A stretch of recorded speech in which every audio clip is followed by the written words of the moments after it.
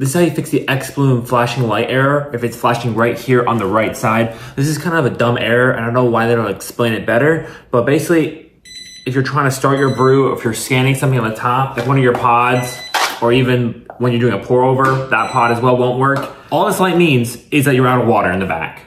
And if it's against something in your kitchen and you can't see that, I couldn't figure it out the first time it happened, but it really just means you fill it up with water should be self-explanatory, but it's not. So just fill it up with water like I just did, at least over half. Put it in on the back like you normally do.